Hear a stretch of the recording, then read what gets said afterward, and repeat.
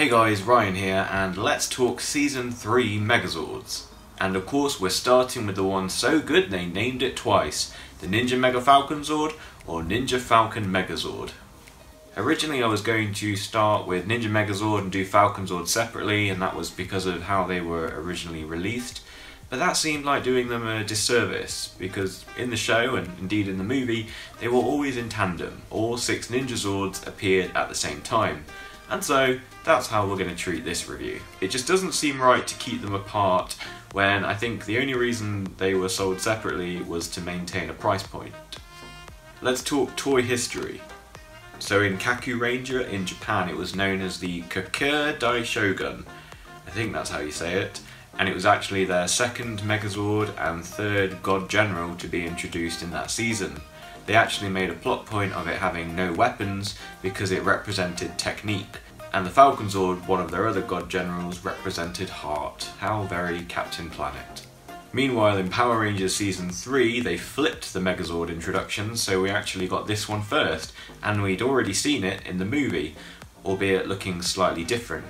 In their defence, it was probably early days for CGI in kids' films, However, we have just seen the Falcon Zord return to TV screens this year, and it was about on par.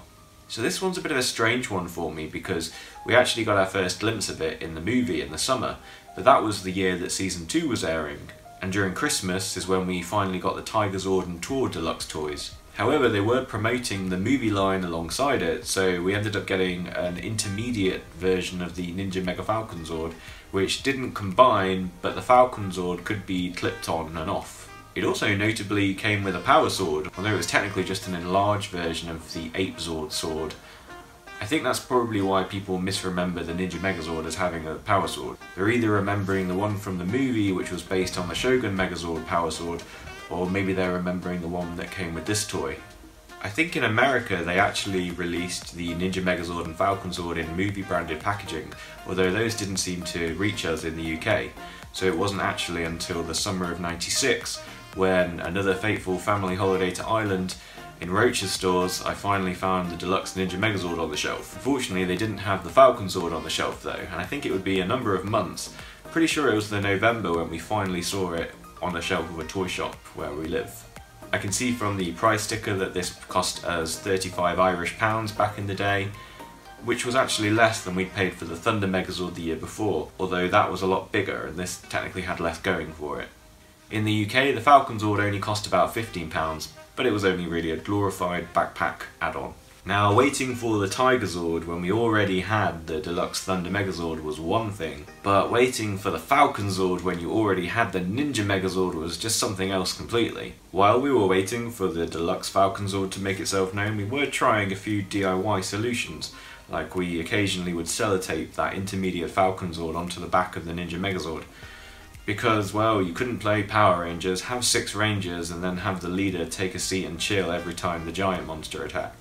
Let me tell you how ridiculous that looked. The wings didn't even emerge from behind the arms. Also, top toy tip, don't put sellotape on your Megazords because it'll take you ages to get the residue off and there's actually a little bit of discoloration because some of it was on there longer than others.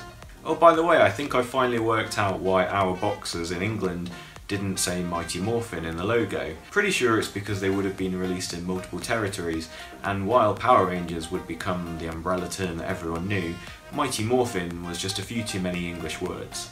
You'll probably notice if you've ever seen other countries' versions of the Power Rangers logo, the Power Rangers bit always is in English, but the season subtitle is always translated. Onto the design. I both do and don't like the look of this thing. I remember feeling confused and annoyed, and this is ridiculous, that it didn't look like the one from the movie. But I suppose fair enough that it did resemble the one from the TV show. Bit of a contradiction I always thought. In Megazord mode, the animal motif is really obvious and striking in the bear, frog and falcon Zords, but it's been hidden away in the other three Zords. I also never got why they did the fist covers to kind of humanise the ape and wolf Zords when it didn't matter for the others. Plus it meant there were other pieces that were essential for the Megazord mode, which as you all know, I'm not a fan of. They actually went so far as to engineer spaces on the Bearzord that could store the fist covers, but I think that just ruins the design of the Bearzord, and the back one falls off way too easily. As Zords, they were a real ragtag bunch of all shapes and sizes. What I liked about that though was that you didn't have two Zords that were obviously alike, like you got in the year before's Thunder Megazord legs. In fact, if you think about most year's Megazord designs, every time you've got a Megazord where two Zords form two legs, they're pretty much going to be identical.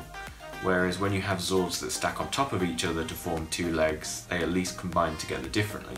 Here, for the first time in Power Rangers, you've got two Zords forming two different arms, and although they've done some work to make them look kind of the same, the way you get to that point is very different. Another thing that bothered me back then was how small the Red Ranger's Zord was after two seasons of his Zord kind of being the focal point of the Megazord. And though the Falcon Zord is the biggest of the Ninja Zords, it's actually a big step down for Tommy after the Tiger Zord, which was bigger and transformed. But most of all though, I really liked that we once again had a 6 Zord Megazord and that Tommy had been fully integrated into the team and stopped being such an outsider. Oh, and Kimberly Zord is absolutely tiny. However, after only being a chest shield and a skirt in the previous Megazords, being the head is actually probably a bit of an upgrade for what would be her final Zord. Something that I always liked about the Ninja Zords in the series, and actually in the movie, was seeing them in the city you know, because we'd had two years of the normal Zord summoning stock footage where they just appeared in these big empty spaces. I really liked here that the Ninja Zords, which are mostly forest animals, are always appearing in this urban city. It was a really great contrast. What are the differences to the Japanese original? Well, we're starting with our old favourite, it's the stickers. Lightning bolts continue because of course they do, but this was actually, at the time, a product line best. There were only two of them and they only appeared on one of the Zords. I think you can tell a bit of a change in strategy in stickers, and it kind of feels like they're winding down with the whole lightning bolt approach. Don't get me wrong, the Shogun Megazord Next is probably one of the most horrendous for stickers and lightning bolts. But from this, you get the impression that maybe the tide is changing. In Japan, the Ape Zord's two swords were in gold chrome, whereas our version were in a horrible, cheap, bendy gold plastic. Also, the Crane Zord's neck was red, which is how it appears in the show, although in the toy version it's been changed to pink. I found it really strange that they'd done that, because they didn't make the Firebird Thunderzord pink, However, I guess this was the year where they just really wanted to turn Zords pink, as we'll see especially with the Shogun Megazord. What's obviously the granddaddy difference is that the Falcon Zord in Japan had lights and sounds. Even as a kid, I'd had way too many toys that required batteries not to equate a slot that size as storage for two AA's. Also, the wingtips were so obviously meant to light up.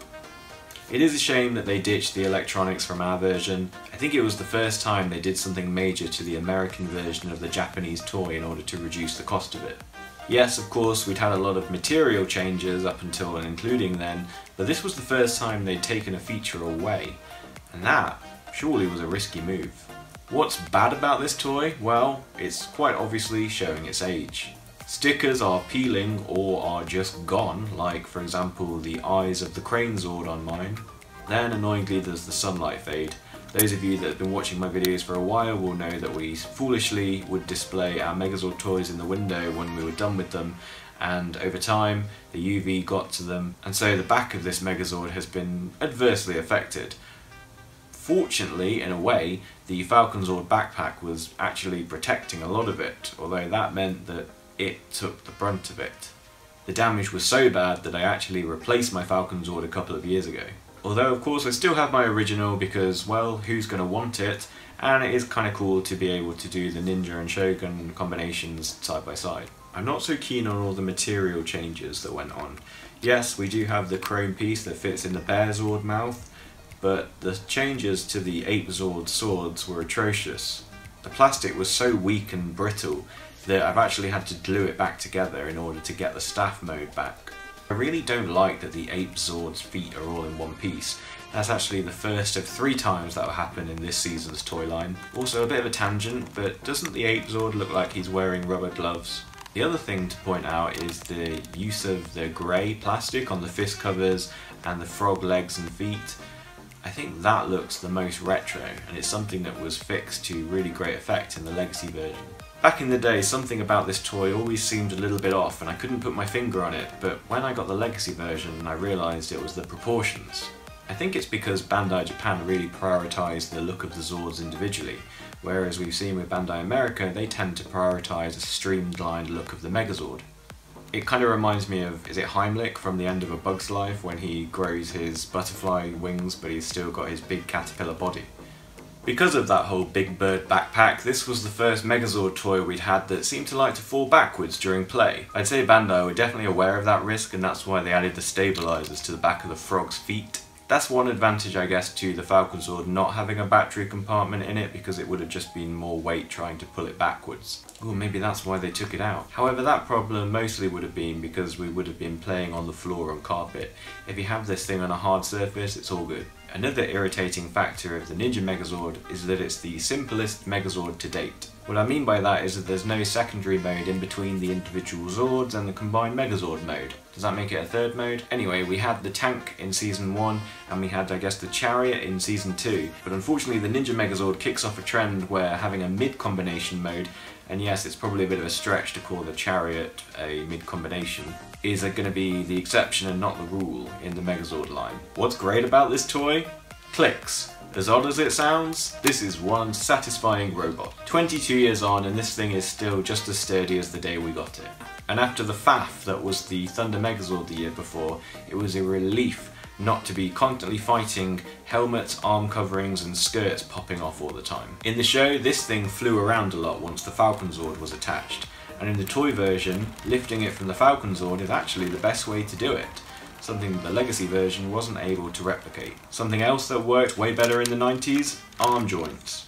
What I've realised about the Ninja Zords recently is that they had a lot more articulation than the Zords before them. The Falcon, Wolf and Bear Zords all had mouths that open, plus movable parts to customise their poses. Equally, the Frog Zord has so much movement in its front flippers and legs that you can try a lot of different things with it.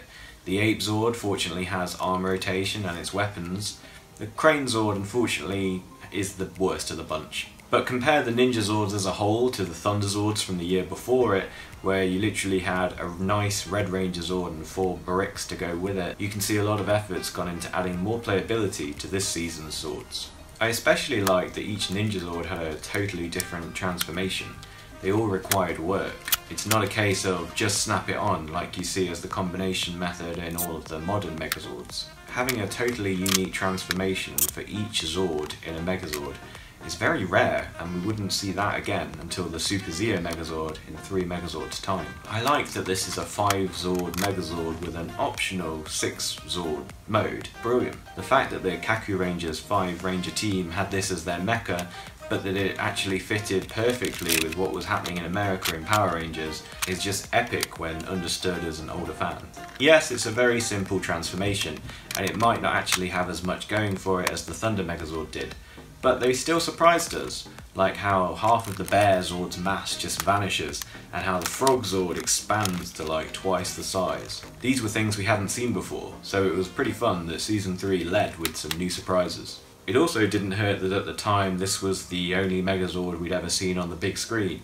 It made it seem a lot more important and therefore you had to have it. Ninja Mega Falcon Zord was a joy of a toy. Bright, vibrant colours, pop and contrast on a frame of black and white.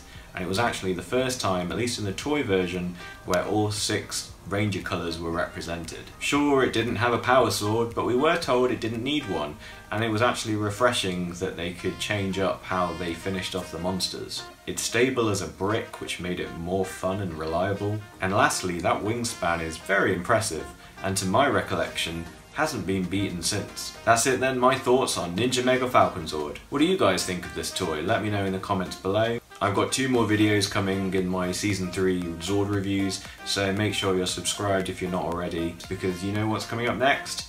Yep, they got another Megazord that year, and I'll see you next time.